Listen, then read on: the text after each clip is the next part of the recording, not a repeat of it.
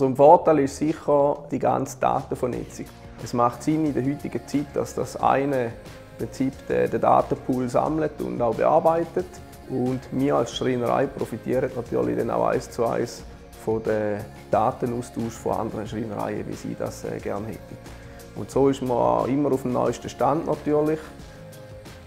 Das ist eine sehr innovative Partnerschaft, wo man zusammen wachsen kann und wo uns alle eigentlich so vorwärts bringt. Also jeder bringt eigentlich wieder einen Input rein und man hat so eigentlich immer bessere Lösungen.